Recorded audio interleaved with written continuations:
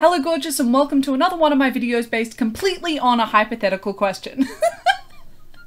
I started this as a throwaway comment, but I am having so much fun. Incredibly niche alternate history. Who knew that that was just gonna be my jam? So far I've posted three butterfly effect videos being the NikkieTutorials, James Charles and Jeffree Star butterfly effect videos and so far y'all seem to be absolutely loving them. And so am I. So I'm gonna do more. And a lot of requests on all of those videos has of course been the one, the only Jaclyn Hill. Of course, as always, if there is a personal channel that you would like me to cover in one of these videos, please let me know down in the comments below. And I've had a few questions. No, it does not have to be beauty related. It could be any one. If I find it fascinating and I want to know how it would go, I'm going to be mapping it out and I'm going to be making a video for you. But for this video, I'm not gonna lie, she's a bit of an odd one. Disclaimer and content warning in this video, as I have already specified, I will be outlining the butterfly effect of what if Jaclyn Hill never posted to YouTube. So in this video, I will have brief mentions of racism, but also brief mentions of her health weight loss journey that she is going on at the moment. If you find any of these topics potentially triggering, please proceed with caution or consider clicking off of the video altogether because at the end of the day, I do not want for my content to jeopardize your happiness and jeopardize your well-being. Full transparency, before researching for this video, I didn't really watch Jaclyn Hill at all. The only thing I really knew about her was the moldy lipstick, so I'm fairly indifferent to her as a creator and as a person. Meaning that I'm not really negative or positive, it just depends on the situation that she's in the middle of, whether I will be negative or positive. And of course, as always, even though I say this in every single video, and even though I trust every single one of you, I still need to explicitly state that I do not promote, encourage, or endorse any kind of mean, negative, harassing, malicious behavior. These videos, all of my videos, are strictly for entertainment entertainment purposes only, so I do not want for any kind of mean, negative, hateful, harassing, malicious behaviour to go out there into the world because of something that I've said or on my behalf. We are, of course, allowed to keep it cheeky, we're allowed to keep it messy, and we're allowed to keep it fun, but please keep it to this channel and this comment section only. With all of that said and done, let's get on to the butterfly effect of what if Jaclyn Hill never posted to YouTube.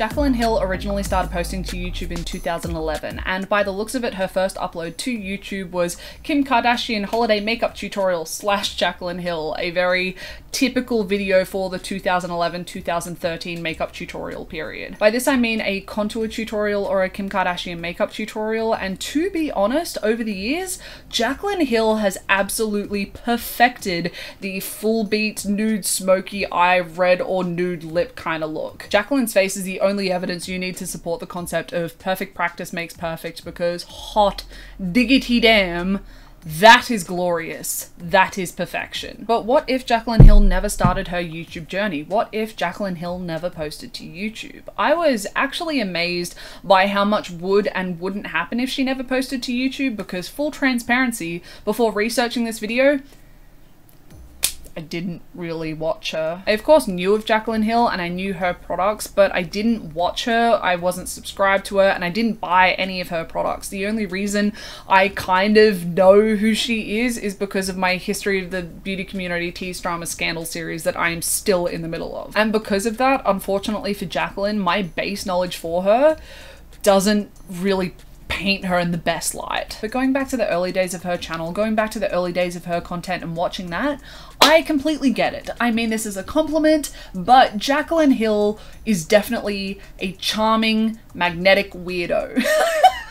She's definitely a professional and definitely has this endearing quality to her, but she is also just a fun oddball, which is why I think she was able to grow so fast on social media and why so much of her audience has been so loyal to her over the years. Because from my understanding, Jaclyn Hill was one of very few creators back then who was giving more than just a step-by-step -step guide as to how to do your makeup. She was also talking about herself and talking about her life as she applied her makeup and as she did the tutorial, which in turn created an in in-depth rapport with her audience, such as a strong parasocial relationship with her fans, that were willing to invest in her financially, emotionally, and with their time. I'm in no way saying that Jaclyn is a perfect person, I am just saying that I get it. I get why Jaclyn has grown as much as she has. I get why she has so many subscribers, and I get why so many of her subscribers have been so loyal to her over the years. And really, I think that's where we get to the first piece of the Jaclyn Hill butterfly effect puzzle. Because, in all honesty,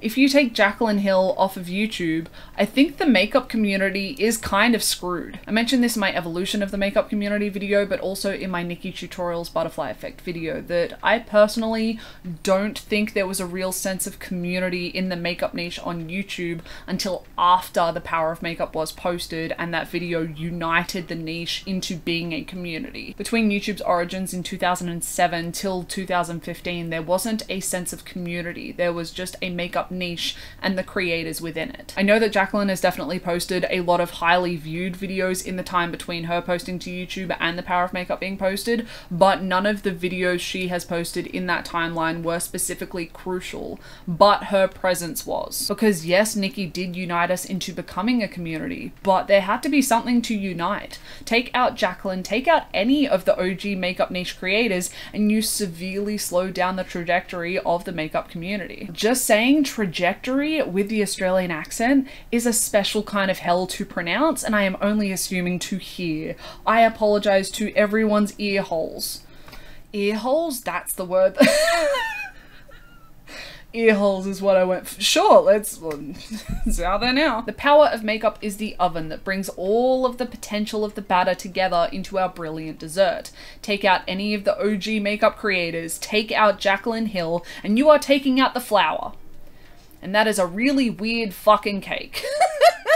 In the early days of YouTube, in the early days of the makeup niche, every piece of influence that is contributed is crucial because these are the foundational years. You have to build a good foundation to be able to grow from it. And that doesn't even just go for the makeup niche, that goes for every single niche on YouTube and that goes for YouTube as a whole.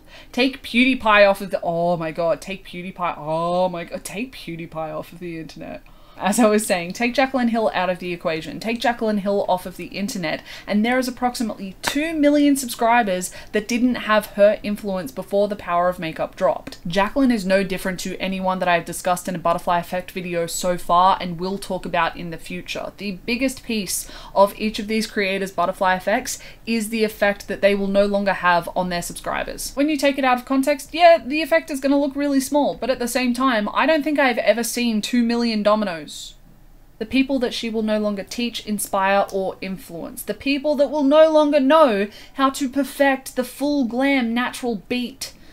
I know that glam and natural don't typically go hand in hand together, but somehow Jaclyn married that bitch together so well. I don't know what your opinion is of Jaclyn Hill, but credit where credit is due. I'm just, like, over and over and over and over. It just, it just chef's kiss. Like, I looks effortless. But where the Jaclyn Hill butterfly effect really starts to get fascinating to me is the products that she was a crucial part in producing. Because if Jaclyn Hill never posted the Kim Kardashian holiday makeup tutorial slash Jaclyn Hill video, then the world never would have known of the cult classic highlighter Champagne Pop. This highlighter is literally the Little Women of highlighters because no matter how many times it's adapted, no matter how many times it's remade, people still want the new edition. In 2015, Becca and Jaclyn Hill announced their first makeup collaboration. This was a first for Becca, but not for Jaclyn. Previously, she had collaborated with Gerard Cosmetics, but have you heard of Gerard Cosmetics? The makeup collaboration, of course, as I specified before, is the cult classic highlighter Champagne Pop, and this was an incredibly defining moment for Becca, Jaclyn, but also makeup influencers, influencers in general, and product collaborations, because before this collaboration, the true potential for makeup influencer collaborations was insanely underestimated. Becca was a cosmetics company founded in 2001, and according to Aussie makeup artist founder Rebecca Morrice Williams, it was a cult favorite amongst the makeup industry, but according to some outsider opinions, it seemed to be more of a background moment in the makeup industry. That was until July 2nd of 2015 when the Becca and Jaclyn Hill Champagne Pop Highlighter launched and sold out 25,000 units in 20 minutes on the Sephora website. This was huge for 2015 because not only did it put Becca on the map, but it also showed the definite value in the platform and influence of makeup influencers. But the success of Champagne Pop did not stop here with a holiday release of Champagne Pop, being the Champagne Glow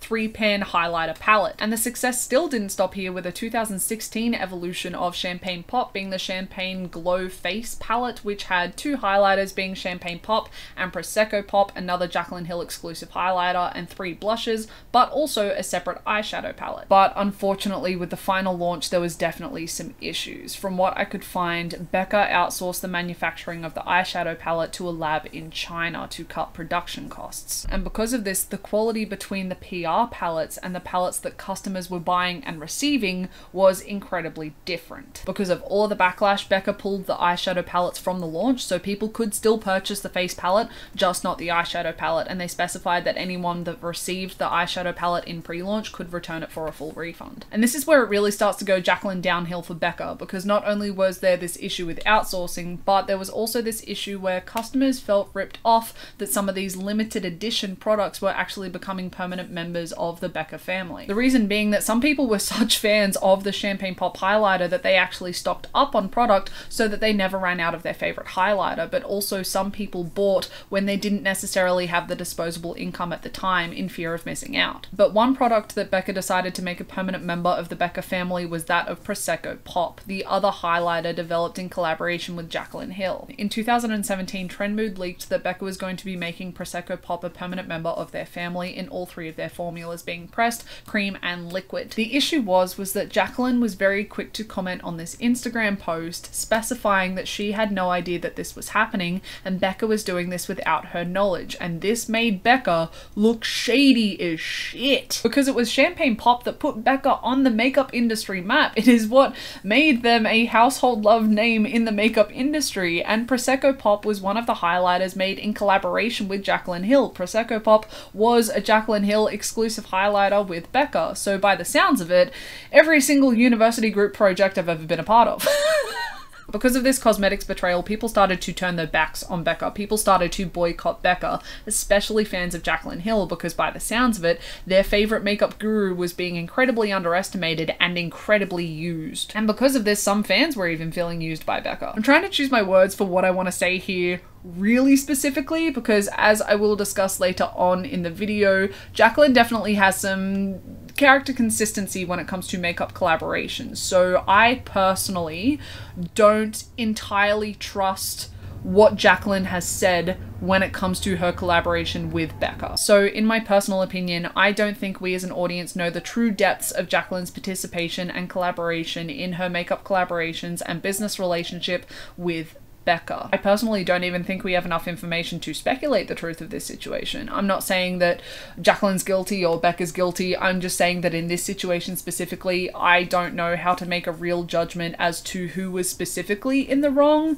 And there is genuinely the possibility, and I wouldn't be surprised if this is the truth of it, that both parties were in the wrong. But it doesn't matter. The damage was already done for Becca. So much damage was already done that when the second anniversary of Champagne Pop was announced and launched with Jaclyn's name on it, people weren't even seemingly interested in it, and this year, Becca actually announced that they would be shutting down in September. So after all of that context, for this juicy hot mess express of a saga with Jaclyn and Becca, we have three to four-ish primary players, the first of course being Jaclyn Hill. But if she never posted to YouTube, never getting this collaboration, so it doesn't really matter, so next. Secondly, this collaboration was one of the first makeup influencer collaborations. Of course, there was other ones before this, like the Michelle Phan Estee Lauder collaboration, but most, if not all, of the makeup influencer collaborations before this were nowhere near as impressive as this. This was a fabulous proof of concept when it came to makeup influencer makeup collaborations, because not only did they secure Becca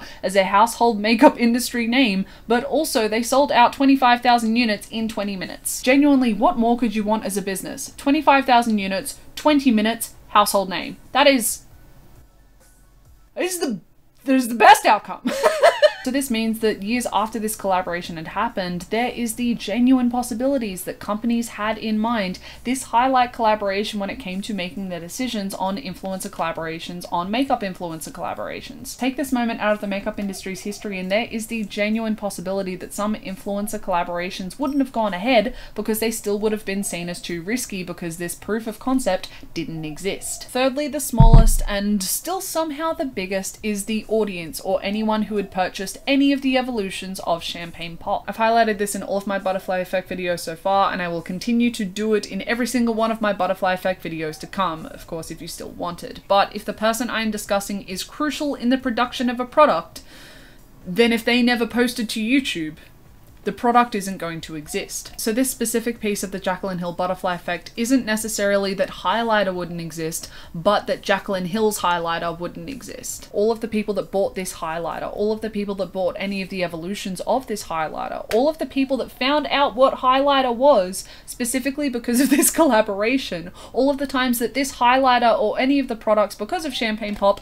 were ever worn ever, and all of the videos that were made reviewing these products, wearing these products, all all of it gone. All of it ceases to exist without Jaclyn Hill being present on YouTube. And for some people, subscribers are gone. If you found a specific creator because they did a review of Champagne Pop, how else would you have found them? For each individual person that this affected minorly, it accumulates into this huge ripple effect, which is why I find the butterfly effect so fascinating and why I love mapping it out. Because if Jaclyn Hill never posted to YouTube, then this video never would have existed. But at the same time, Becca may never have made a name for themselves in the makeup industry. Wipe Jaclyn Hill off of the internet and this video doesn't exist, but also the company that sold for $200 million to Estee Lauder is kind of screwed without her. As I specified before, this highlighter put Becca on the map. But my thought process for this specifically is that I think that Becca would have still been looking to do some sort of makeup influencer collaboration, and depending on how successful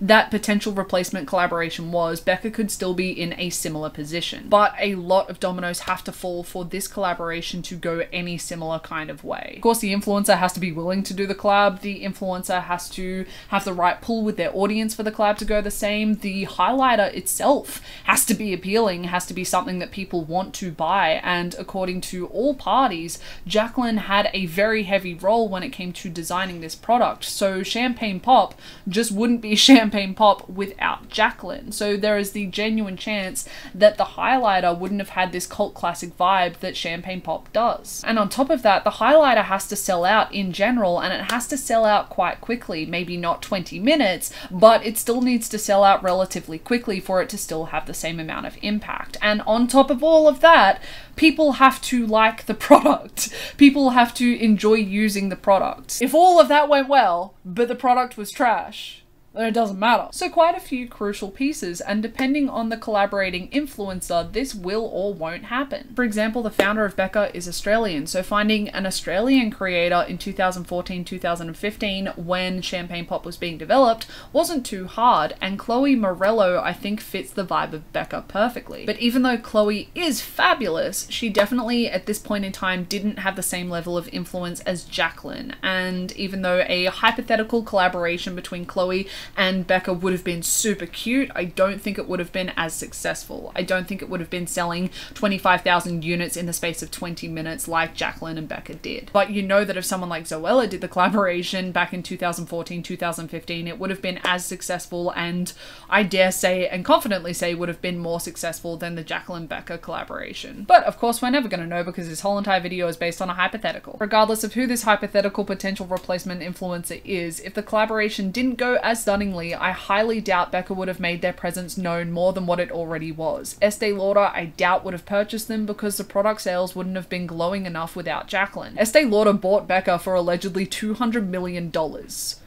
So their sales were fucking fantastic. Therefore, in my personal opinion, without Jaclyn and the success of the Champagne Pop highlighter collaboration and evolutions of this collaboration, Becca would have remained being the cute little background moment it had always been. Becca, of course, never would have had their downfall either, but at the same time, you can't fall if you never rose. And this is where it started to get even more fascinating for me because seemingly it wasn't just Becca that Jaclyn helped put on the makeup industry map, she also helped Morphe. Morphe was founded in 2008 and according to founders Chris and Linda Tawil, Morphe didn't start embracing social media until about 2011. By the sounds of it, in 2011 they were at a trade fair and they were networking with some smaller influencers at the time and from there they started growing their business, growing their network until they had the Morphe Babes empire we know today. By the looks of Jaclyn's channel, her business relationship with Morphe started around 2014 2015 when she had a discount code, but also she had a few videos using some of their products, but also she had a makeup collaboration with them, being the Jaclyn Favorites palette. From what I can tell, this is not an official collaboration like what I'm about to talk about, it is instead just a fun way to repackage existing products. At this point in time, Morphe was pretty new to the eye of the internet and was most known for their brushes.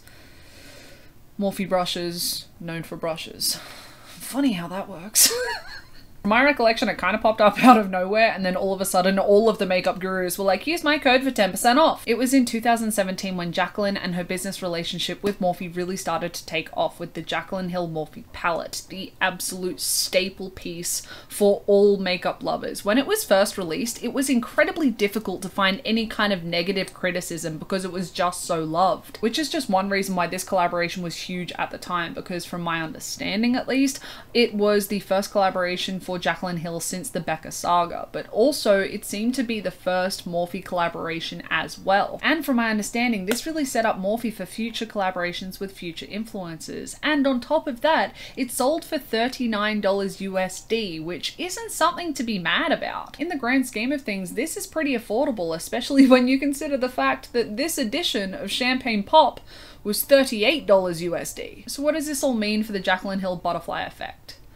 Wildly a lot, but also not. For Jaclyn, if she isn't posting to YouTube in the first place, she isn't getting this collaboration and she is going to be living a very extraordinary life in comparison. Emphasis on ordinary. For Morphe, possibly a controversial opinion, but I don't think they're screwed but I think they're kinda screwed. Hear me out. So in Jaclyn's announcement release launch video for this palette, she specified that on the original packaging that she shows in the video, those photos were taken two years ago, which means that Jaclyn and Morphe had been working on this palette since 2015, around the same time as Champagne Pop. As I said, the Champagne Pop collaboration was a brilliant proof of concept, so it doesn't surprise me that this is when the Jaclyn Hill Morphe palette started to be planned out. This means that I genuinely don't think there is anyone to take Jaclyn's place when it comes to the release of this palette in the same way, because who in 2015 had the same level of success and influence behind them? So the same level of success for this palette release I don't think is possible without Jaclyn, and therefore the trajectory of Morphe is severely slowed down as well as all future collaborations from Morphe. But that also means all future collaborations between Jaclyn and Morphe wouldn't exist either. That means the Vault collection, that means the Volume 2 palette, that means the Divine Neutrals palette, that means the brush collaboration, that also means the weird sunglasses moment that happened.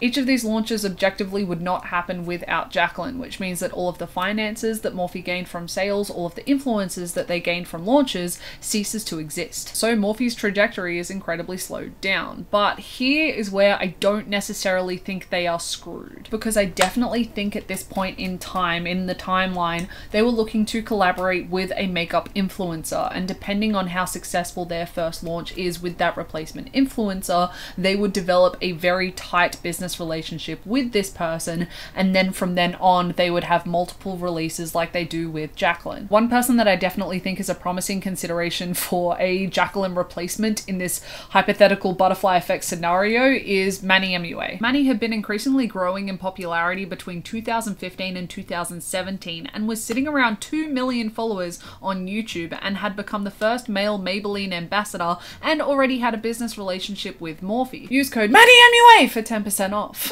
Can't do it with a straight face.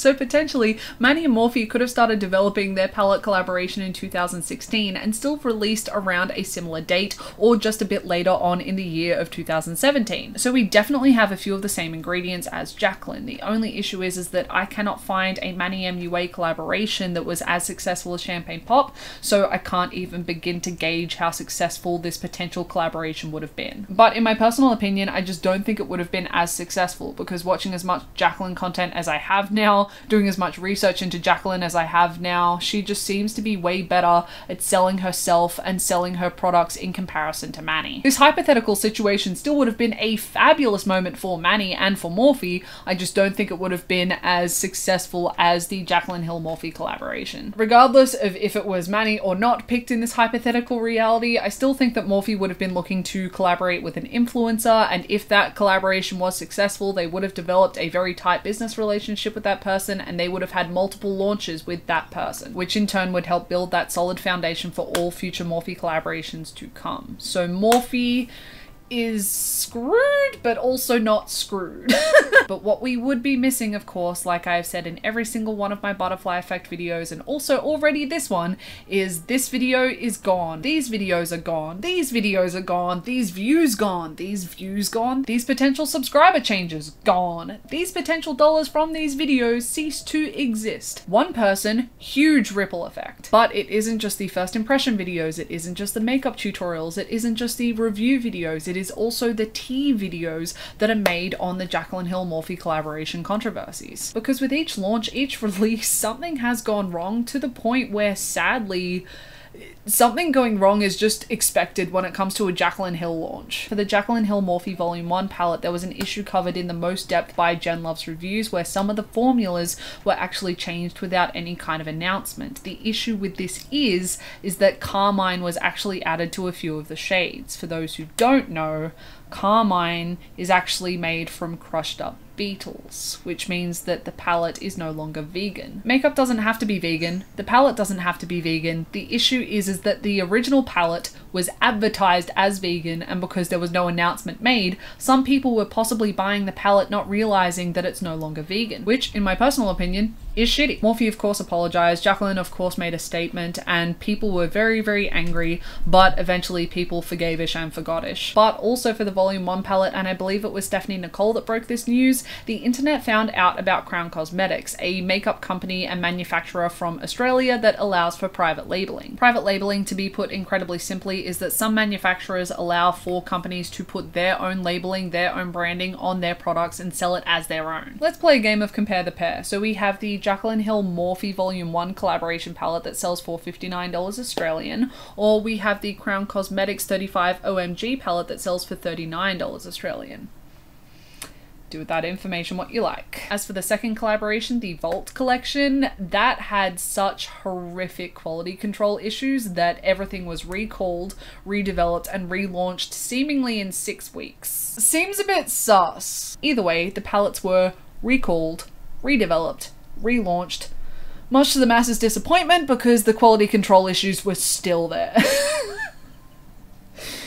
Oh, at least we can say character consistency, yeah? Once again, both parties made apologies and statements. Masses weren't happy, but at the same time, Masses eventually forgave Ish and forgot Ish. The brush set.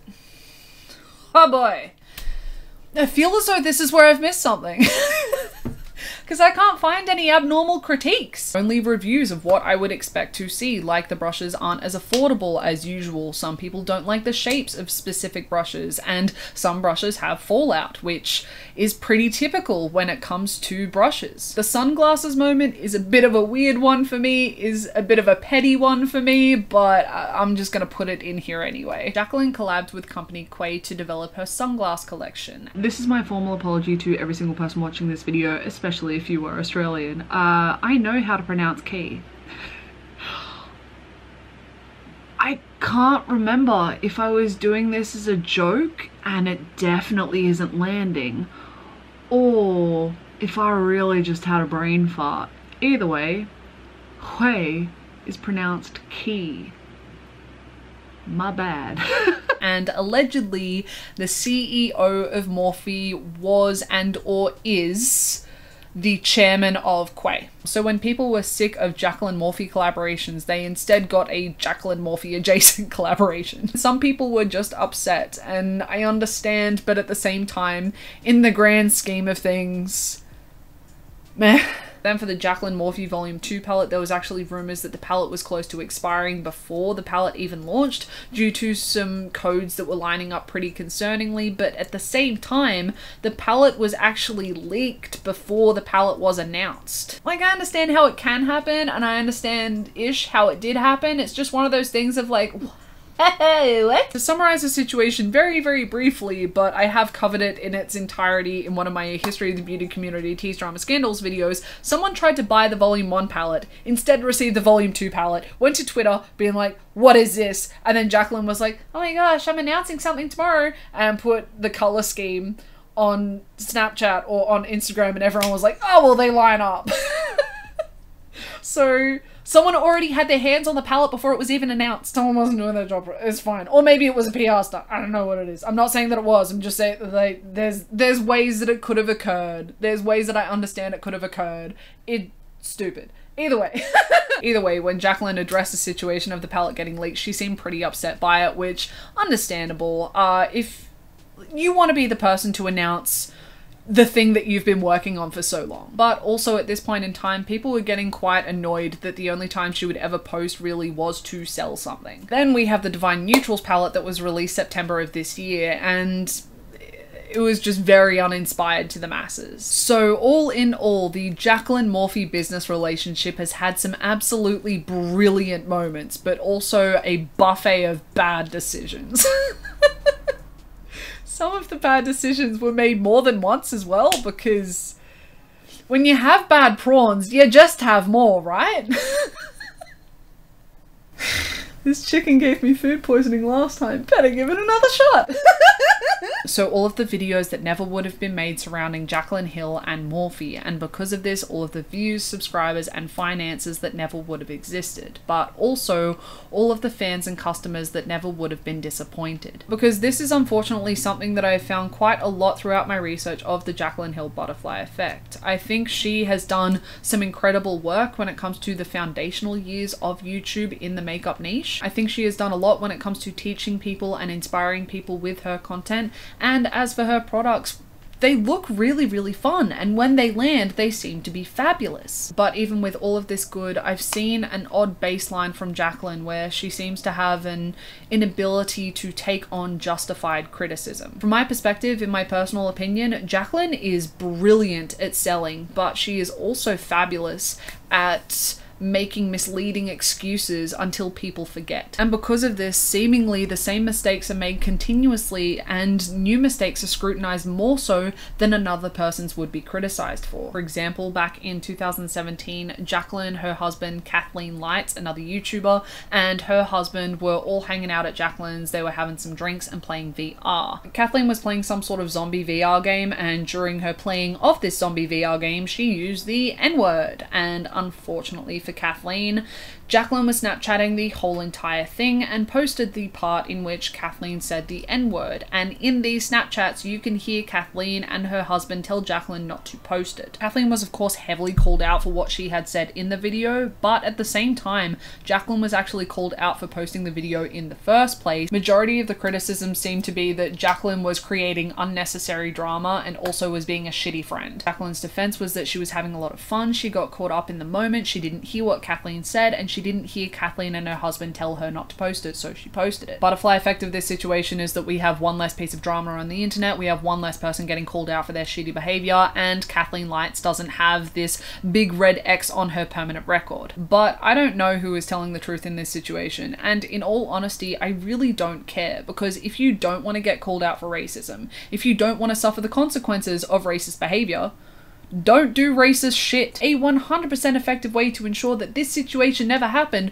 was just to not use the N word. But in the case of Jaclyn, from what I understand, she wasn't being criticized for exposing her friend for using the N word. Instead, she was criticized for not respecting the personal boundaries of her friend. Which I understand, but that is not the part of the Snapchat that I would have focused my judgment on. But I feel as though a lot of creators would have been given the benefit of the doubt in this situation because, and yes, I could be very naive with this, getting caught up in the moment is a reasonable excuse, for lack of a better phrasing. I've tried to explain this little thought process so many times. This is gonna be the one. This is gonna be this is gonna be the moment where it all makes sense when it comes out of my mouth.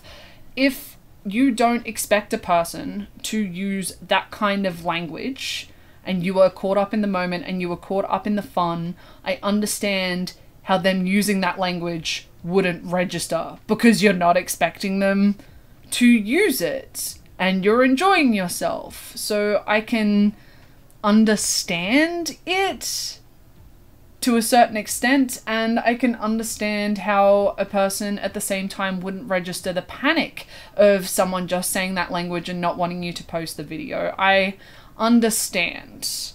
Doesn't mean that I think it's okay. I just understand. But in a situation where I possibly naively think that a lot of creators would be given the benefit of the doubt, Jaclyn wasn't, and the internet figured out that the snap was actually up for about an hour after it was posted. So, quite a lot more than a whoops, didn't register like, did it not register for a whole hour? And that's kind of my point. Both Jaclyn and Kathleen were shitty in this situation. For Kathleen, her critique has been expressed by more important voices than my own, and her apology is not for me to accept or deny. But for Jaclyn, she gave a reasonable excuse that someone as naive as I was initially would have just glossed over. But Jaclyn had had issues for years and years to come with an inability to take responsibility without making excuses or just being honest from the start. Sometimes it was taking more than one statement from Jaclyn to start getting to the truth, which is why, yes, in this situation, a lot of creators would have been given the benefit of the doubt. But for Jaclyn, the internet knows better. The internet knows with Jaclyn that you shouldn't be giving the benefit of the doubt initially because, as character consistency suggests, you aren't going to be getting the whole truth. And this is where the character consistency really starts to come into focus. The big bitch. Lipstick Gate. If you don't know what Lipstick Gate is, I am honestly fascinated by how you managed to make that happen. But lucky you, I'm about to ruin it. Back May 24th, 2019, Jaclyn Hill posted the video introducing Jaclyn Cosmetics. All caps. In this video, she announced the first official launch of her makeup company being 20 nude lipsticks, and people bought, and people received what they bought, and people received the lipsticks in their PR, and so many things were wrong. Some people had little white fuzzies on their lipsticks, which looked like possibly hair or mold, which was super uncomfortable. There was some people that had watermarks on their lipsticks, which also kind of looked like mold, which also was super uncomfortable. Some people just had straight up shards of shit in their lipstick, which is very dangerous. Some people had bubbling all over the lipstick, which is not normal. And then some people just had their lipstick turn up fucking melted. My sister, who I love dearly, has straight up given me food poisoning before. I would take my chances with that dish again and use one of those lipsticks. And if the situation wasn't already bad enough, Jaclyn handled everything so poorly, I have seen two year olds potty train better. But I guess there was at least some sort of acknowledgement very recently. June 29th this year, Jaclyn actually made a video reacting to some of her most viewed videos and most controversial videos, and she specified that she was incredibly misguided and naive when it came to the launch of her cosmetics and she handled everything so poorly. So I guess there has been some character growth and she has acknowledged that what she did when it came to the backlash of these lipsticks just wasn't it. Either way, Back to the trash handling. Jaclyn was very quick to defend her company when it came to this situation. Someone called out the white fuzzies and bubbling in their lipstick, and Jaclyn specified something along the lines of, You can see that this lipstick is used, and that happens when someone's lips are dry. Unsurprisingly, people were not very pleased of Jaclyn's initial defense of her company and were very vocal in expressing their opinions, and Jaclyn backtracked quite quickly. So, butterfly effect of this situation is that that person wouldn't have to be publicly embarrassed by Jaclyn for Jaclyn's fuck up. So that's a nice reality. Evidence allegedly came out that Jaclyn had been lying about FDA approval when it came to ingredients, components, and PPE used in the lab, and evidence allegedly came out that the lipsticks had been manufactured years ago. Jaclyn eventually posted a video trying to uh, clear the air, try to give explanations, and try to debunk some of the rumors that were going around, specifying that the white fuzzies were from the gloves that are not FDA approved, and also that the black dots that people can see in the lipsticks are actually oxygen bubbles. From what I could tell, and I really hope that I'm wrong about this, but no official statement has been made since Jaclyn posted this video specifying what everything was when it came to the lipsticks. She just kind of posted the video, said that she was done with it, hopped off of the internet, came back eventually, and just never addressed anything ever again. From my perspective, and from watching Jaclyn's reaction to her viral videos video, reaction to her controversials video video, she had no idea what happened. And she didn't know what to do, so she panicked, made that video without any kind of true 100% understanding of what was actually in those lipsticks. I do try my hardest to not try and get too frustrated with situations like this. I do try my hardest to not get too heated up with situations like this, but hot diggity fucking damn, this situation just throws me because no one forced Jaclyn to start a cosmetics company. no one forced Jaclyn to make lipsticks. Her life did not depend on this. She actively chose this. She actively chose the role that she would play in the development of these lipsticks and the development of her cosmetics line. She wanted it, she made it happen. So when all of this was announced, when the lipsticks were launched, when the lipsticks were being sent out, we as an audience, we as consumers were expecting what we were promised. Or at least lipsticks that weren't fucked. Lipsticks that at least had the bare minimum quality control. Lipsticks that at least wouldn't cut open someone's mouth when they were trying to apply. So there was definitely on multiple occasions where Jaclyn must have negated responsibility. Whether it was intentional or not, it doesn't matter because she chose the responsibilities of starting a company. No one forced her to be a CEO, no one forced her to make lipsticks, and it sucks that Jaclyn bit off more than she could chew, but that isn't an excuse and she should have done better. It is just absolutely infuriating because if I wanted to open a restaurant, I know that part of the responsibilities is to make sure that my food that I'm charging people money for isn't going to poison people. If it poisons people and all I say is, oh, sorry, the white fuzzies in the food is from the gloves, it's not good enough.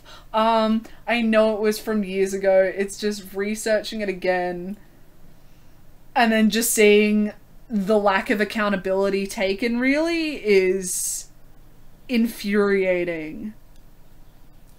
Either way, if Jaclyn Hill never posted to YouTube, she is not saving up the alleged $80,000 to start Jaclyn Cosmetics. And even if she did do that, she didn't have the audience for direct marketing that she does in this reality. So Jaclyn Cosmetics ceases to exist. And what does that really mean? For Jaclyn, it's just one less thing that she has to apologize for. So that's nice, I guess.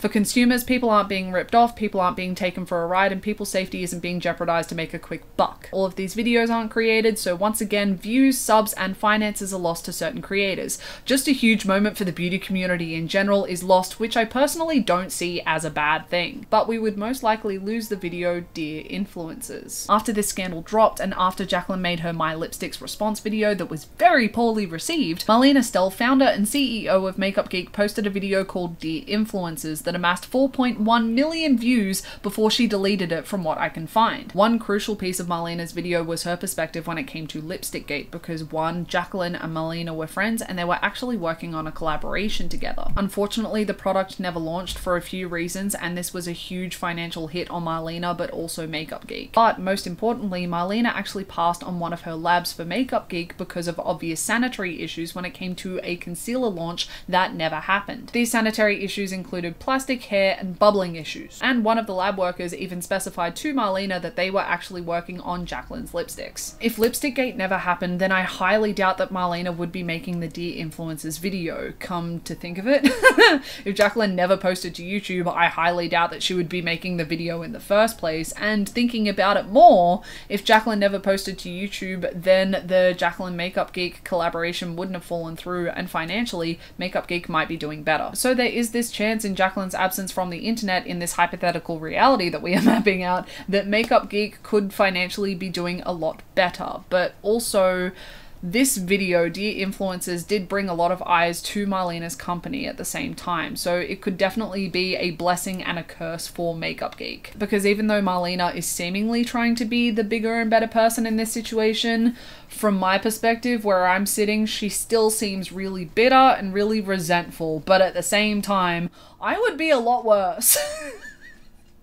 I'm not judging her for being bitter and resentful because that that would be the baseline for me in that situation. But I hear a lot of you thinking this was just her first launch. Surely she had learned from that situation, and surely her other launches after this one went a lot better, went swimmingly. Not having hair, mold, and shards in makeup is a bottom of the barrel standard, and that means no, she also had issues with her highlighter collection launched in December of 2019.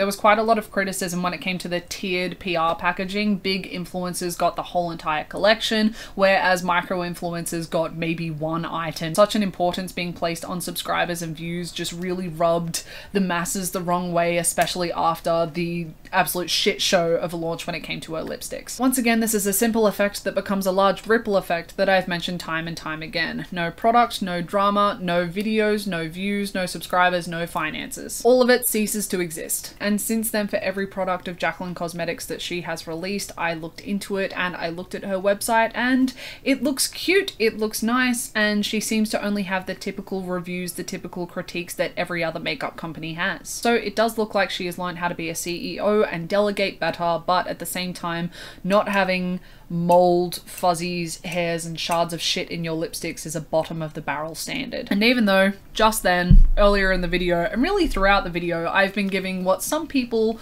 would call some harsh criticism of Jaclyn's consistent character, I will say that by the looks of it, she is genuinely trying to become a better person. It genuinely looks like she is trying to better herself, and all forms of healthy growth is something that I admire and really respect. And an unfortunate thing when it comes to healthy growth is that sometimes there are infuriating backsteps for the individual. And yes, I say infuriating backsteps with a touch of personal experience. Recently, Jaclyn has been endeavoring into a health journey with the intention of eating better, exercising, and losing weight. Weight loss doesn't automatically mean healthy, but from what Jaclyn is saying on camera and what she is editing into her videos, she considers that losing weight for her to be a healthy option. I will say that Jaclyn gets torn apart online and she gets a lot of negative criticism, but a lot of this negative criticism I think is justified and fair. However, I've said this more than once and I will say it again, any criticism of her weight is absolute bullshit. Her weight did not make her a bad CEO. Her being a bad CEO made her a bad CEO. So seeing her response to these weight comments, I'm not surprised that these comments are hitting her hard, but at times she is able to use this unjustified criticism as a shield for taking responsibility for the things that she should be taking responsibility for. Anyway, back to the health journey. Jaclyn has been documenting her health journey since September 14th of this year, and she's documented many a high high, but also many a tearful low as she is struggled struggled to make better life decisions for herself. From my perspective, from an audience member's perspective, some of her changes seem to be very realistic changes and goals. But some, unfortunately, and unfortunately, unsurprisingly, because that's just how health journeys typically go, you make mistakes, and as infuriating as they are, you try and learn from them. But unfortunately and unsurprisingly, some seem to be setting Jaclyn up to fail, which is why the effect of the series is going to primarily be for Jaclyn because it is her health journey but also there are some people that are going to be inspired by hers and go on their own, and some people who could potentially learn what I subjectively consider to be negative characteristics of diet culture. If Jaclyn was to never post to YouTube, then there is the genuine possibility that she never would have had to have gone on this health journey in the first place, but at the same time, she wouldn't be inspiring hundreds of thousands of people with every post that she makes. Even though I know I have been quite critical of Jaclyn in this video, even though I did specify specify at the beginning of the video, I am quite indifferent.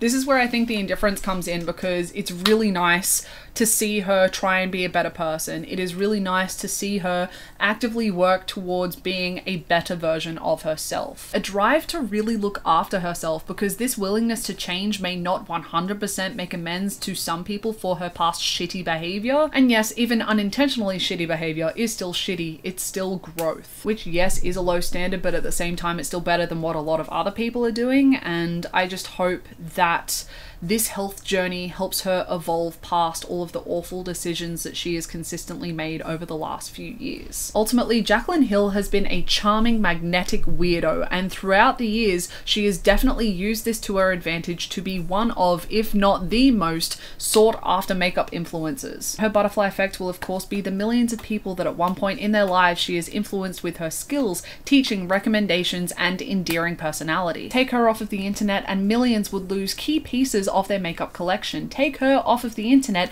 and millions possibly never would have learnt or perfected the smoky cat eye. There would be brands whose development is severely stunted in the absence of Jaclyn Hill, and influencer collaborations that wouldn't have happened if it wasn't for the Jaclyn Becca collaboration. But Jaclyn's magnetic personality is a blessing and a curse for her because people love to love her, but people also love to hate her, and so many people on the internet benefit from Jaclyn's presence. These review videos, these first impression videos, these makeup tutorials made with Jaclyn products that cease to exist. So potentially critical videos for a specific creator. For example, Jen Luv's Reviews. I only found her because of her Jaclyn Hill Volume 1 palette formula comparison video, but also with all of her less than favorable moments being put under such harsh criticism and all of the videos that are made highlighting and discussing all of these less than favorable moments, there is once again the potential for critical videos of creators to be wiped out from the internet and therefore the trajectory of their online career is severely stunted. For example, if the reason that you found my channel is this video,